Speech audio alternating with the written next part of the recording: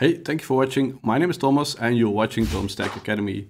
In this video, I'm going to show you how to edit both the editor font size, and this is the editor font size, and the terminal font size. And the terminal font size, that's the font of the outcome of the terminal that you see here. Navigate to File, Preferences, Settings, and then search for font size.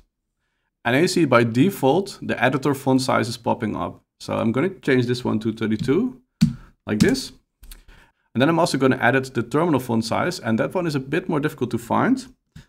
Type terminal.integrated.font, and then you will find here the terminal font size. And I'm also going to change this one to 32. Go back to main.py, and now you see that both the editor font size and the terminal font size have been increased. I hope this video was useful for you. If it was, please give it a thumbs up. I have way more Python videos on my channel, so don't forget to subscribe to my channel and I hope to see you back in one of my next videos.